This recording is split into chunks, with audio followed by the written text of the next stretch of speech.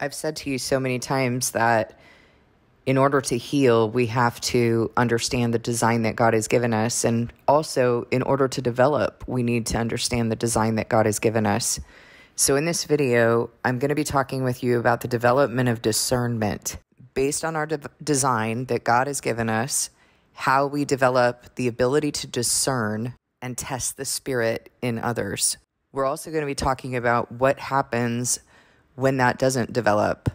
And believe it or not, many people are going to say that this has not been a problem for them, that they have the ability to discern, they know how to test the spirit. If that's you, I want you to keep listening because I believe this video will be for you. We've been taught in scripture that we need to discern the fruit and we need to test the spirit. Discern the fruit, test the spirit. And God's been having me talk about this lately.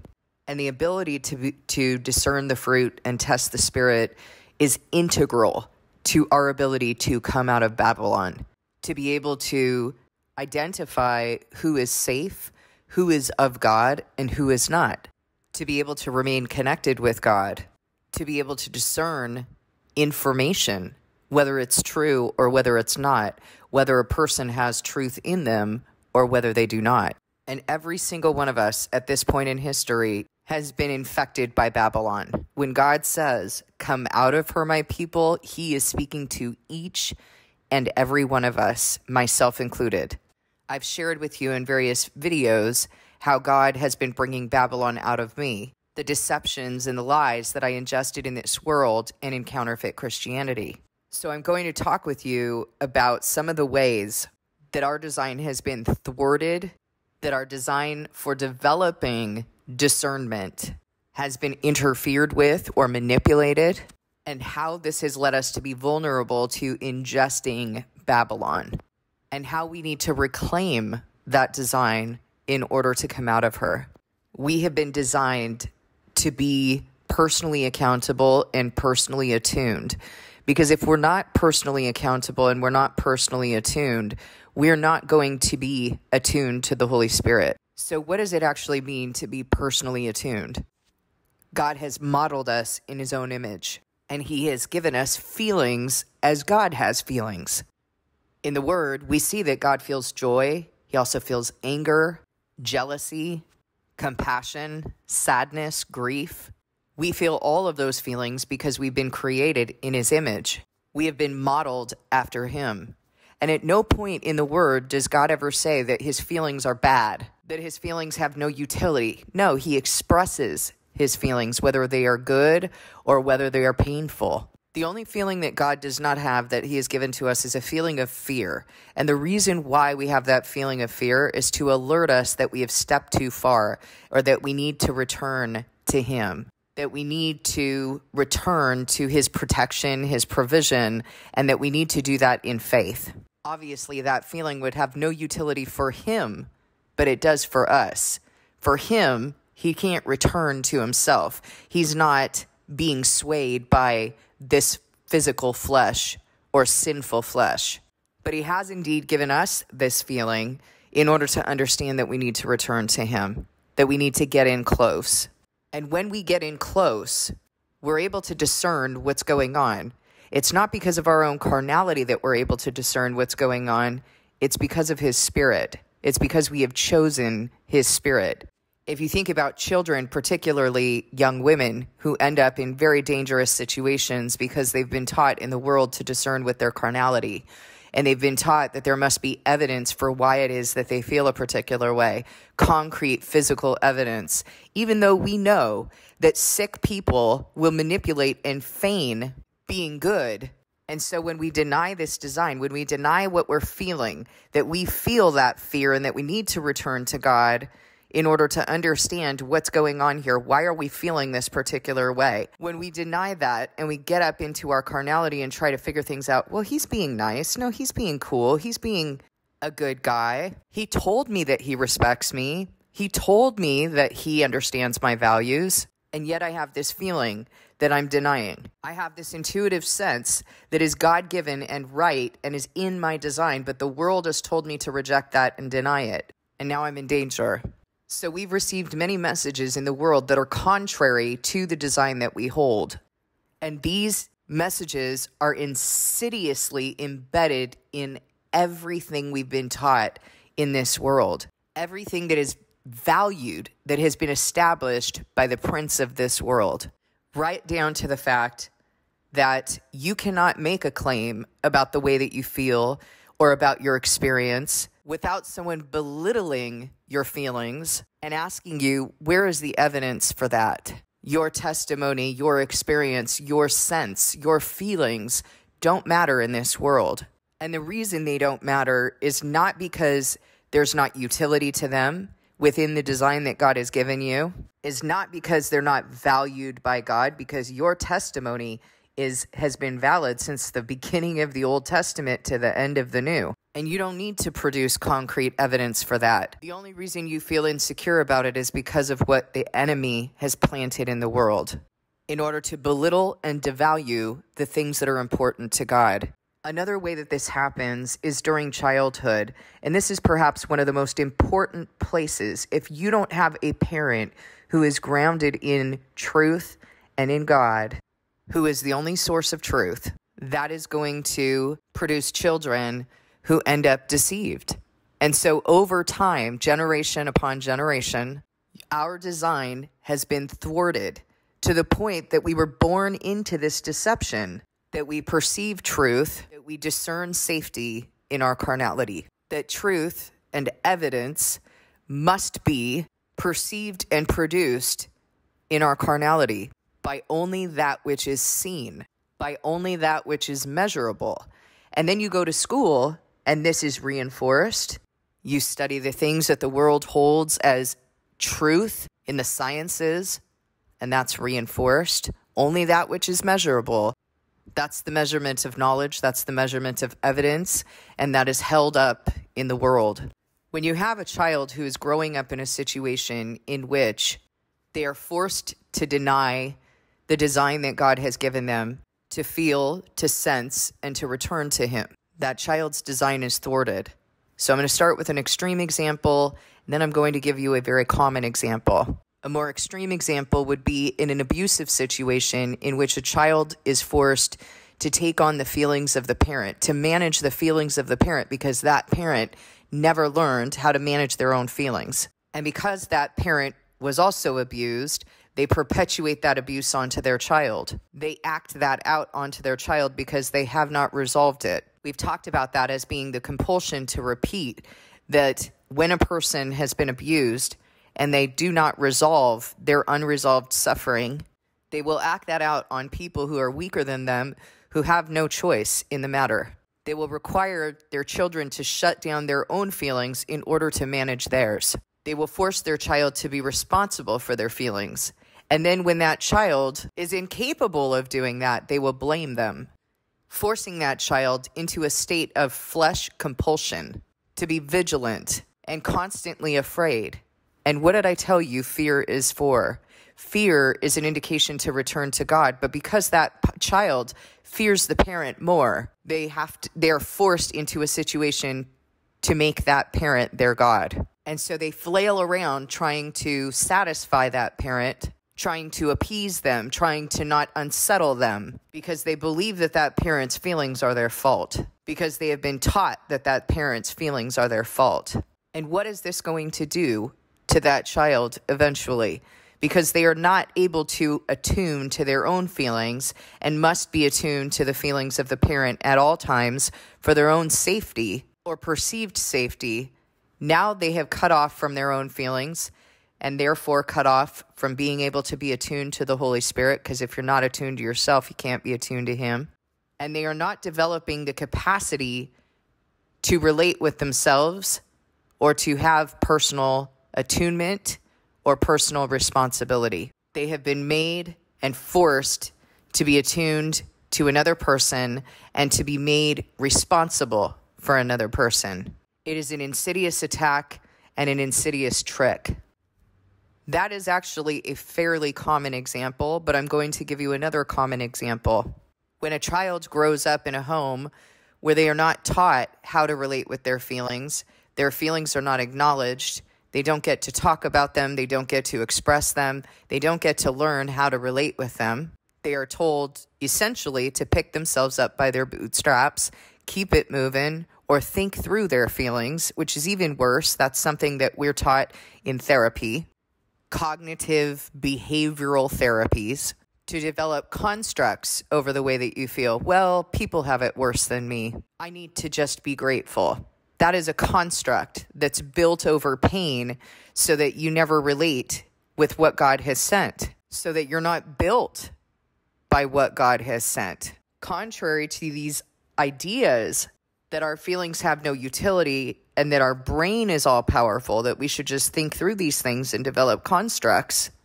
God actually wants us to feel our grief. He actually gave us feelings for a reason. It's not some anomaly or mutation in our design. He did it by intention. And we know that because he expresses his feelings and he processes through his feelings and he makes decisions based on that process. And by the way, we are commanded to become like him, not by the world. So many parents think that they're doing right by their children by doing these things, but oh, you feel sad. You know what? Why don't we take the day and we'll go get an ice cream and we'll go shopping? Where's the feelings? Where's the process? Where's the help and the shepherding and the witnessing? I mean, it sounds like a nice thing to spend time with mom, but now I learn that the way that I deal with upset feelings is to eat and to shop and distract myself from the way that I feel. We need to be able to have logical responses to what's going on with us and a logical response to what we're feeling as children, by the way, not as adults. We don't impose this on someone else. If you didn't develop this, join the club that's the reason why I use the method that I do so that you can develop it because you've got to develop it in yourself. You cannot require someone else to do that for you, whether it's the parent who didn't do it for you or it's a partner that you're now imposing that on. So I teach you how to do that in Heart Known series. No one's going to be able to do it for you. What I'm helping you to understand is one, how to be a parent to your own children, which really is going to come from you doing this within yourself. Otherwise, inevitably, you're going to act this out on your children. But you need to have understanding of where this comes from, and you need to have an understanding of an ideal of what's supposed to happen. That ideal is I'm not speaking psychobabble right now. This is not coming from psychology because psychology doesn't acknowledge God. This is coming from understanding of what God has established, what He has said, what He has set an example of. And so, a logical response to a child who's suffering is to witness and to shepherd. What does He do with us? He witnesses and He shepherds and He builds our testimony. That's what we're doing with our children. And we're not doing it perfectly, and we need to let them know that we're not doing it perfectly. And how do we let them know that? We let them know through our own testimony, through sharing with them, you know, I don't have all the answers, and you know that I make mistakes constantly, but here's my experience with this. And if we don't have experience with that, then we just stay with witnessing and sharing God's word. And then we need to go build our testimony. We need to go receive that from God because we should have some sort of experience and testimony to share with our children. Now, I want to tell you that when you are sharing in that way with your children, rather than shutting them down for their imperfections or pretending like we have all the answers, when we're sharing with them, look, I don't have any of the answers. You know that. You've seen that I am imperfect.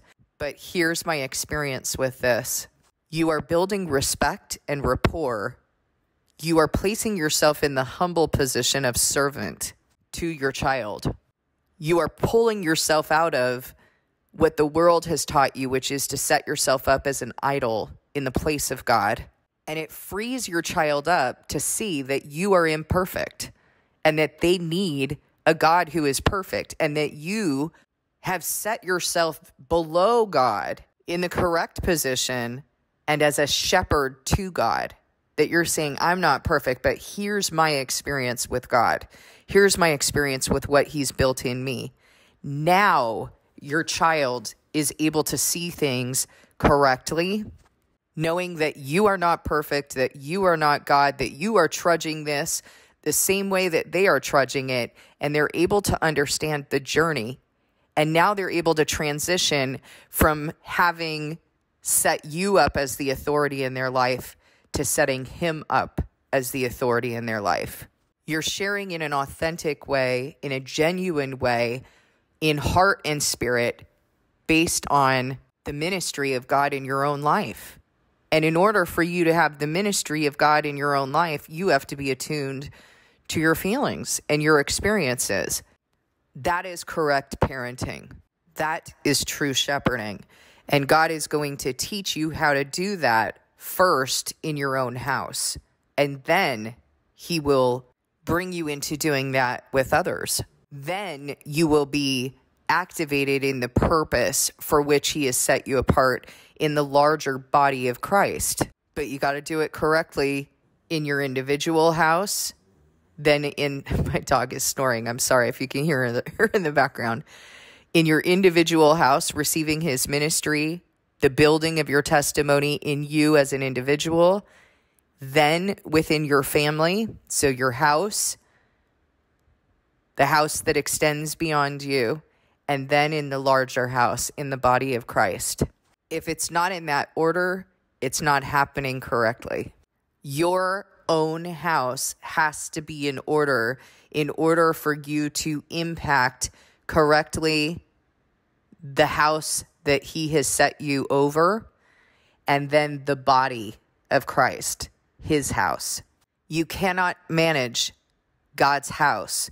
You cannot manage God's church if you are not yet above reproach, if you are not yet above question, if you have not handled and managed your own house correctly. And if you, as an individual house, don't have the proper development to be personally attuned, you won't be attuned to God. You won't be receiving from Him, therefore, you will not be built by Him and you will not be able to do that likewise with your children. This is the reason why I teach the method that I do in Heart Known series. It's not because it's some sort of psychobabble treatment or something like that. And it's also, I want you to understand, not what's going to heal you. It is what you are required to do in personal responsibility. So please don't treat Heart Known series and what is taught in there as some sort of treatment that you, by the work of your own hands, are going to somehow achieve. Because if you're not doing it correctly, it will be one more treatment that you will labor in vain on. You have to understand it for what it is.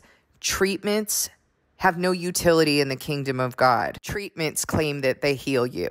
What you are doing in Heart Known series is you are taking personal responsibility for what is required in you, what's required in you in order to examine, in order to be built, in order to soothe yourself so that you're capable of getting into the heart and spirit to receive God's ministry. Just because you do all those things doesn't even mean you're going to heal.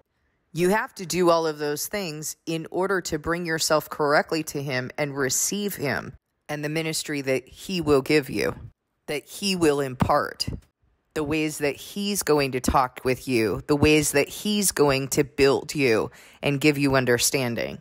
So if that's not happening, the work is not being done correctly. If you're just stopping at the part of soothing yourself and all of these other things, and you're not actually sitting in his counsel and asking him the questions that you have and listening for his ministry, then you're not doing it right and you're not going to heal because truly He is the only one who can heal you and seal you, seal those chinks in your armor where the enemy has been slithering in.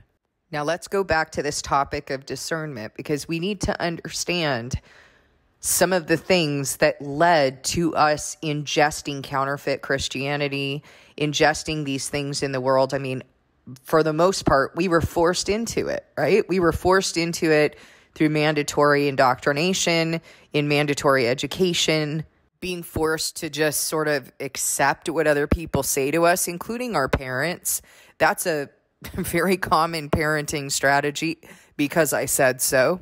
Assuming that children are inherently evil because they ask questions, that that is somehow disobedient No, you know what's disobedient is a lazy parent who won't answer those questions and live in the authority that God has given them. Because I said so is lazy and wicked. We do have a responsibility to help our children to understand the reasons why we do things.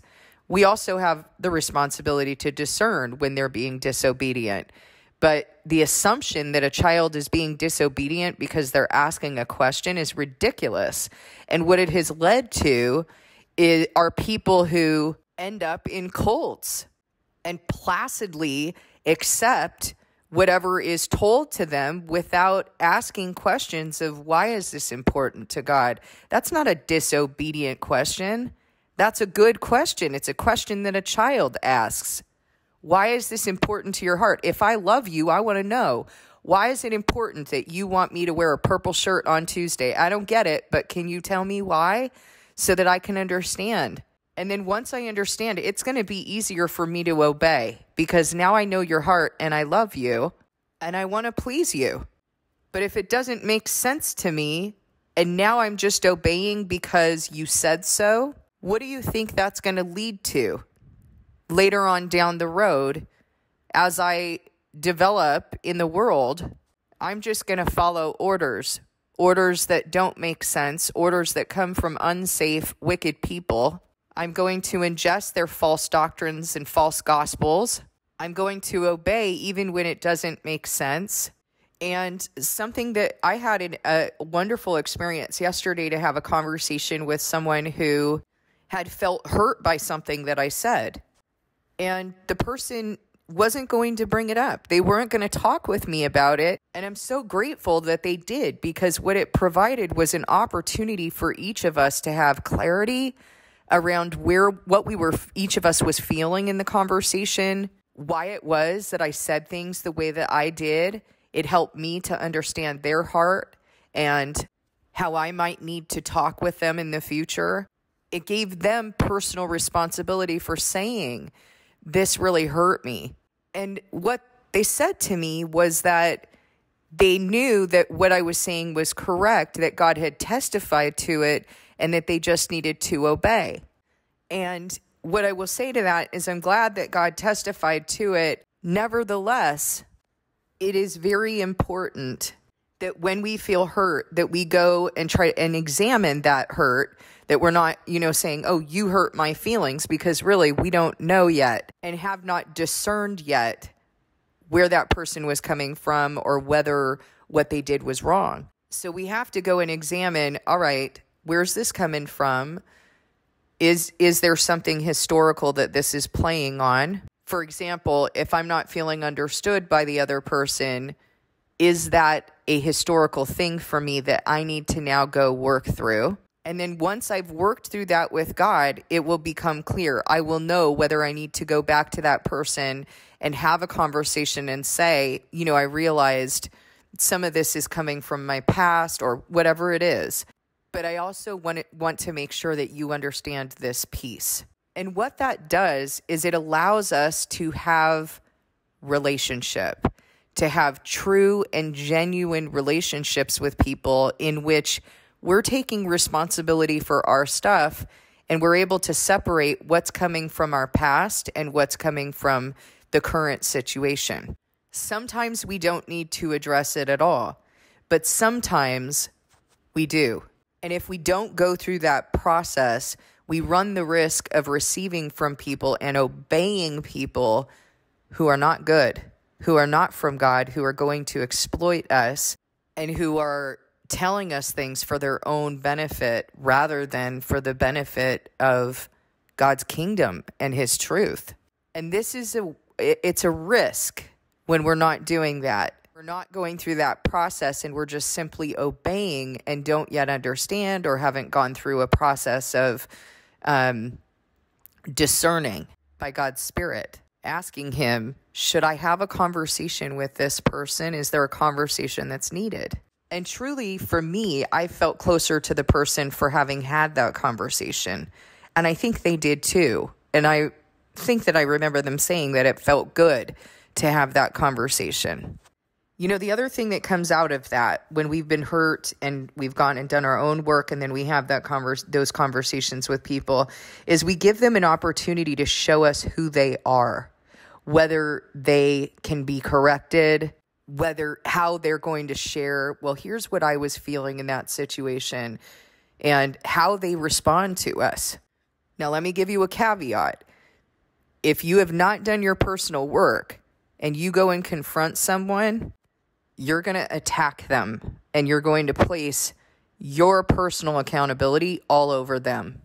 So don't be surprised when they don't react well or when they ignore what you're saying, because that's a lack of personal accountability. But I'm talking about something different. I'm talking about when you've gone and you've done this and then you have and then you bring that to them accountably. Now your confidence is in what you received from God. And so, if that person is not able to have an effective conversation with you, if they're not able to examine themselves and care about you and respond with love, now you know who they are. So, these things are really, it's really important that we're engaging in relationships in a true way, in the way that God has designed us. And remember that it starts first in your individual house, then it extends to the house he's put you over, and then it extends to the body of Christ. Got to go in that order. If it doesn't go in that order, you're doing it wrong. So if you have not dealt with what's in your individual house, you have no business having conversations. So, placid obedience is not something that God requires. That has been taught in counterfeit Christianity that children are just supposed to obey. And you know what that does? It frustrates a child when they don't understand and they haven't been respected and they haven't been heard and they haven't been cared about. It frustrates children. And God has commanded us not to frustrate our children, nor has He commanded us to do things that He will not explain. He explains according to our ability to understand. Even, you know, I would say that probably if someone were to argue against this, they would say, well, what about the sacrifices? People didn't understand the fulfillment of that. Well, yeah, they didn't understand the fulfillment of it. We are we are tasked with understanding more than those of the Old Testament. But even in the Old Testament, there was enough that was explained to the developmental stage of the church they did understand that they were to engage in these rituals and that those rituals had to do with cleansing and had to do with cleansing their sin. And yet, we, being tasked with understanding the fulfillment of that, don't even understand the basic building blocks because we think that we're a New Testament church, not an Old Testament church. I actually heard someone refer to the New Testament gospel as though it's somehow separate from the Old Testament. That's ridiculous. The New Testament gospel is the fulfillment of the Old Testament gospel, and there's no way for us to understand fulfillment if we don't understand the initial commands. We don't understand what's even being fulfilled. So, God has absolutely given us the explanation. He continues to give us the explanation and wisdom as we pursue His heart and His spirit. He will give us understanding. But you know what he says? For those who don't care about his heart, then this will just be do this and do that. It will just be a list of rules. For those who don't care about truth, for those who don't love him, because if you love him, you pursue his heart. If you love a human being, you're pursuing their heart. You're wanting to understand what do what do they love? What's important to them? You're listening. And so if we're just approaching his word as, okay, what are the 10 commands? What's the checklist? We will have no understanding. His covenant will become do this and do that, and we won't fulfill it. So, part of our responsibility is to test the spirit and discern the fruit. The only way that we can do that is through God's Holy Spirit. I've demonstrated for you that doing this by our carnality, doing it in the way with the false gospel that the world has set up, that our feelings are not important, only our only the things of our flesh are, right? Our cognitions and our behaviors.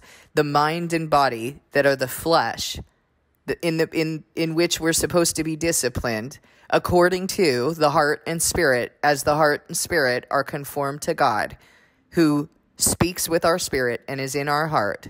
But the world says no live in the flesh.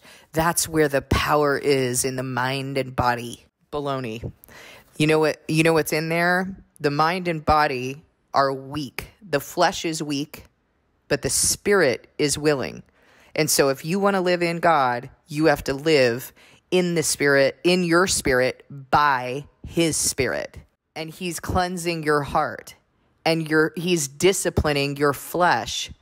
But if you choose to live in that place that the world tells you has power in the mind and body, in the flesh that's supposed to be disciplined according to him, you will be living according to the world. You will become conformed to the world if you choose to treat his covenant as a list of do's and don'ts, do this and do that, a rule for this, a rule for that, you won't even do it right. You will become conformed to the pattern of the world because that's what the flesh does. The physical flesh is vulnerable, it is weak to the sinful flesh. We don't discern by our carnality. It is a false gospel and it is intended to keep you unsafe and compelled in your flesh. So if you don't have the development of one who knows how to discern by being in contact with your feelings and your design, personally attuned, you won't be able to connect with the Holy Spirit who discerns, who discerns the fruit and tests the Spirit in others.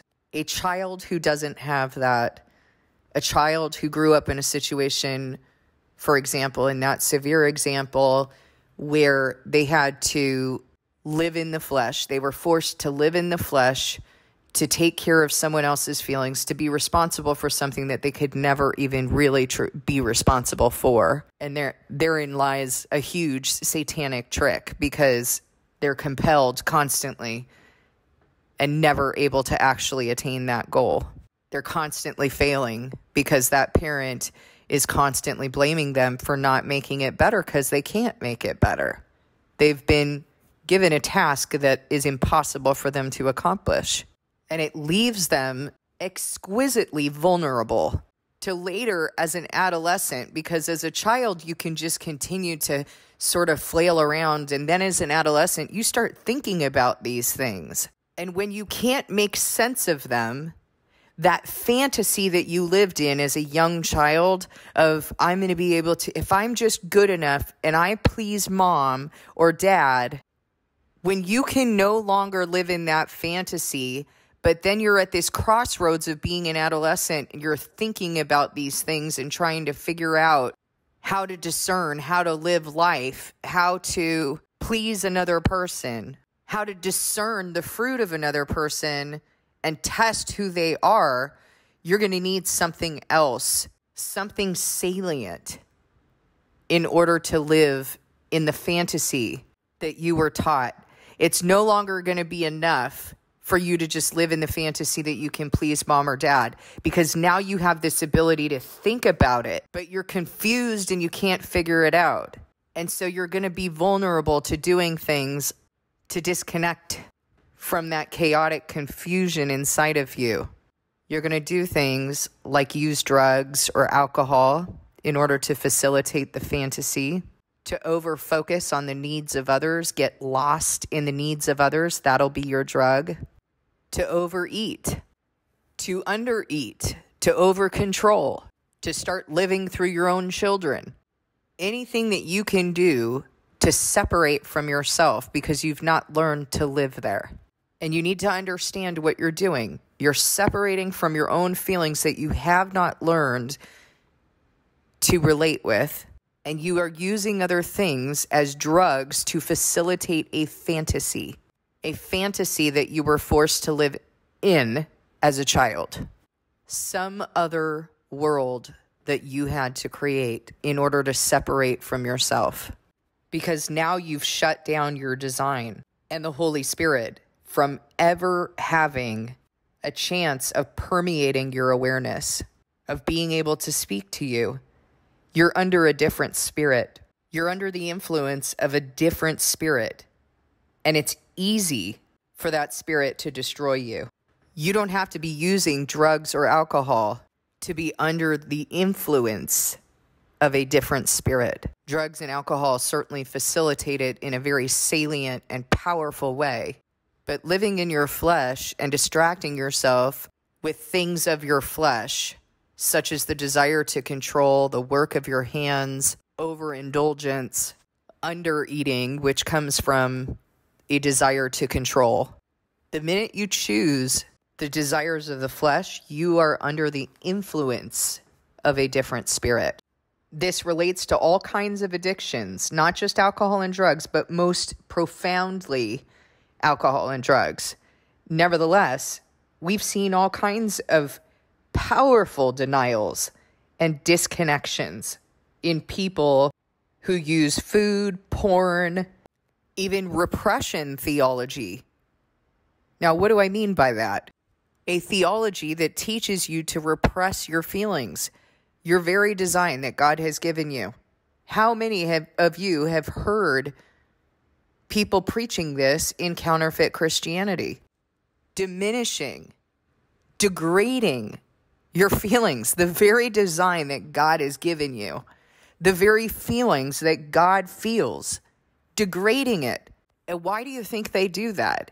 Because they don't relate with their own feelings. And if they don't relate with their own feelings, if they are degrading the very thing that God cherishes, the very design He has given you, the very place that you feel where God's Spirit was placed in your heart, communicating with your spirit, why do you think they're degrading that? I'll tell you why. Because they're scared of it themselves, because they have not healed. And so they teach you in a superficial way to repress your feelings, your design, your intuition, your experience has no business in, in the church of God. Voddie Baucham is one who's notorious for preaching this. Your testimony doesn't matter, teaching you a script of how you're supposed to defend your faith even though God, from the very beginning of, of the Old Testament to the end of the New, talks about the importance of testimony. And if people can't hear that, that doesn't matter. They haven't been given the ears to hear. But your testimony, your experience matters in the kingdom of God. Your feelings matter in the kingdom of God. It's part of the way that God's speaking to you if our feelings don't matter, then God's feelings don't matter. And that just isn't so. And what that leads to are people who do what they think they should do in a superficial way. Again, a rule for this, a rule for that, a little here, a little there, and they will fall. An example of this is to love and be kind. The distortion of what counterfeit Christianity thinks that means. Not looking at the example of what was demonstrated to us because, you know, experience doesn't matter, testimony doesn't matter. Only the words, right? Only the words and the rules matter. Only what we think matters. Only what's in our carnality and what we can see and measure. That's a combination of the world and what people think Christianity is. Those are the teachings of the world. And it's no wonder why counterfeit Christianity has evolved to a point that they define by their carnality love and kindness to mean tolerating bad behavior, bad fruit, addictions, abusive and disrespectful children, to not hold people accountable, to not turn and rebuke, to not teach people what repentance actually is that they must turn from their wicked ways, that it is not God's will for them to have an addiction for the rest of their life, to identify themselves as the world identifies themselves as an addict, as depressed, as anxious, as having a syndrome and a diagnosis. It's not God's will and it's not God's design. And it's not His will that we accommodate to that. It's His will that we teach correctly. personal accountability, personal attunement, and what is required in order for us to heal and be done with it. But repression theology, satanic repression theology that tells you to stay in your carnality, in your thoughts, and not to care about your feelings, your heart, keeps you from being attuned to yourself and therefore keeps you from being attuned to the Holy Spirit. This is the very reason why Voddie Baucham and John MacArthur claim that people don't hear from God the way they used to. Not in the Bible I'm reading.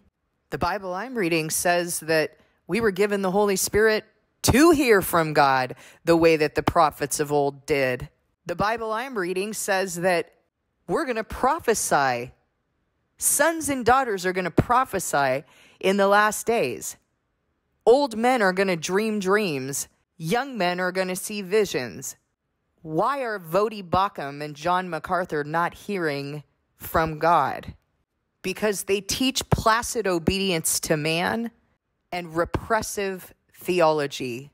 They teach in opposition to the Word of God that your testimony doesn't matter, that your design doesn't matter, that you being in the image of God doesn't matter, and that you're not hearing from God, that you must hear from them, because by their carnality, they're dispensing a message from God? How is that possible when God says he hates the flesh? They are liars whose consciences are seared, who preach a message for themselves because they are greedy for gain and they speak on their own authority for their own glory, and there is no truth in them.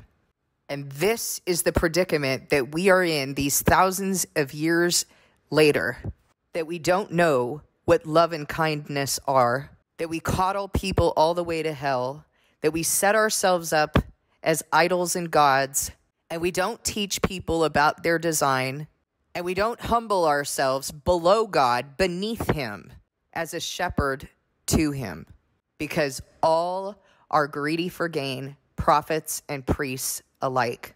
They tear the meat off of his people and feed themselves, and they say, Praise the Lord, we are rich.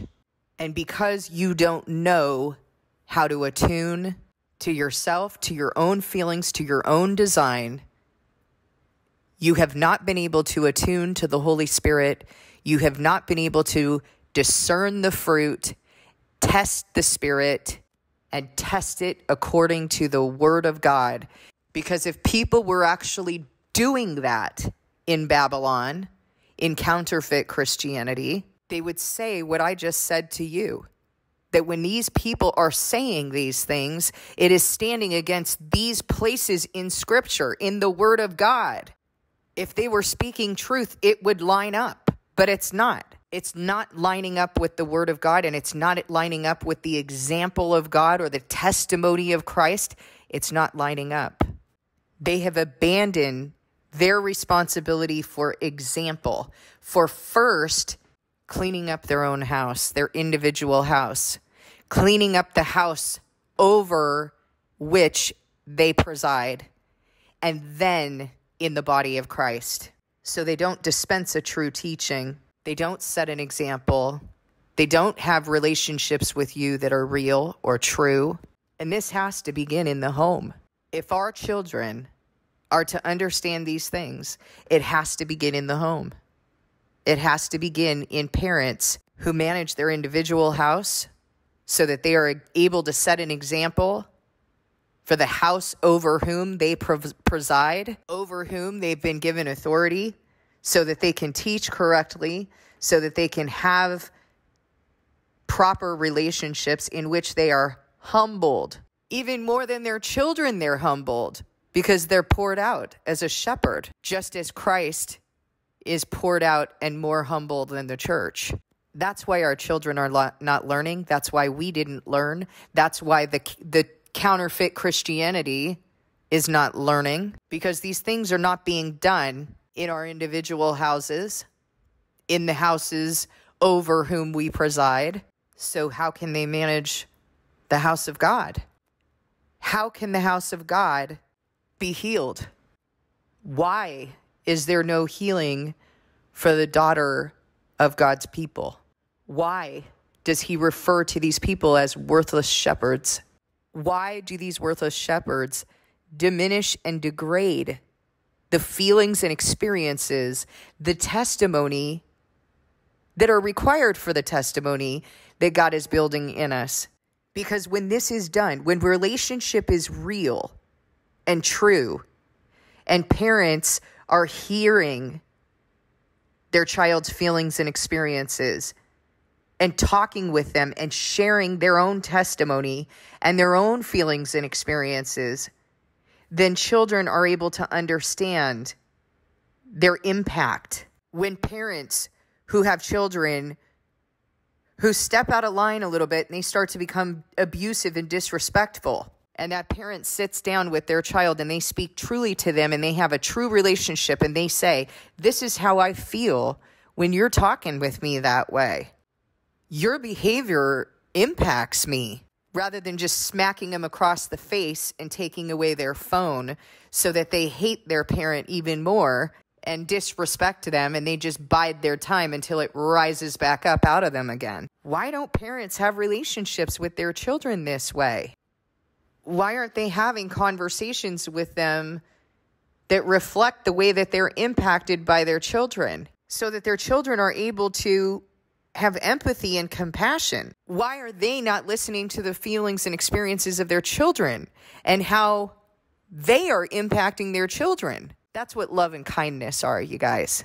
Holding one another accountable with truth, with authenticity, with humility, with vulnerability so that we each develop love and compassion and empathy for one another. We care about the way that we're impacted.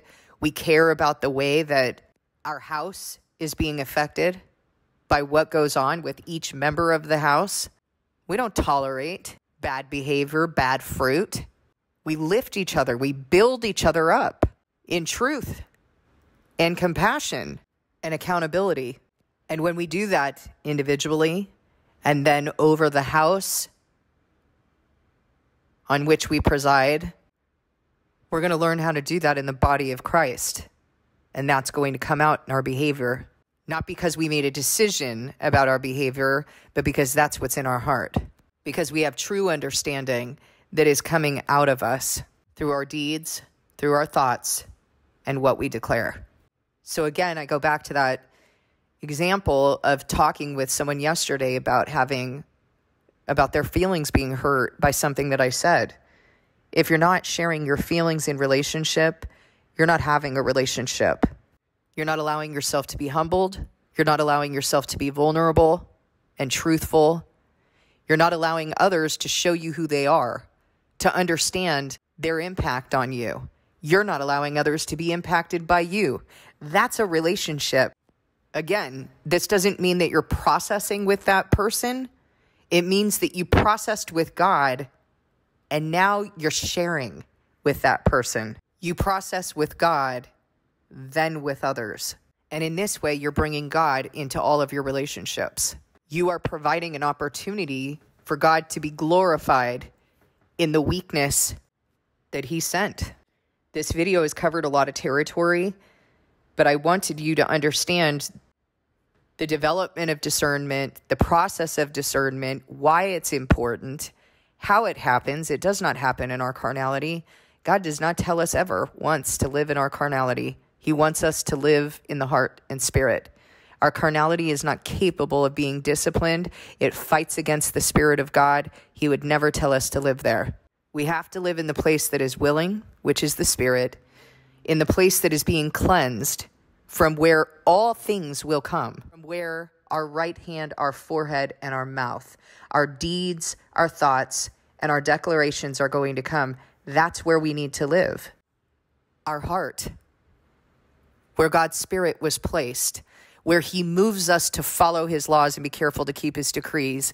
When would God ever tell us to live in our cognitions, our behaviors, our carnality?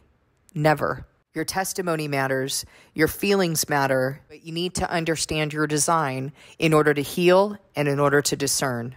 You need to understand your design for personal accountability and personal attunement in order for you to then be able to bring yourself to God correctly, be attuned to His Spirit, and receive His ministry. Otherwise, you will not hear from Him.